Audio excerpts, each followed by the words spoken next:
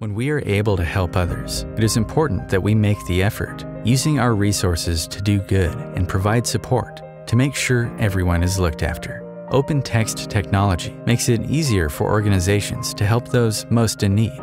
Through the power of information, we create new ways to work, communicate, and share to help generate thriving communities around the world. Leading humanitarian efforts to fight global poverty, provide food, security, and education globally that helps accomplish mission critical tasks and expand economic opportunity to help vulnerable people during emergencies.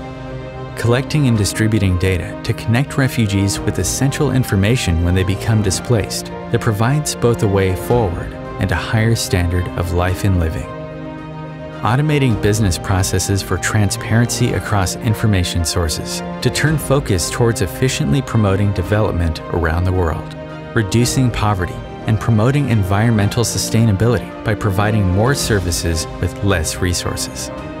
When we aim to help those that need it most, we all invest in building a better world together.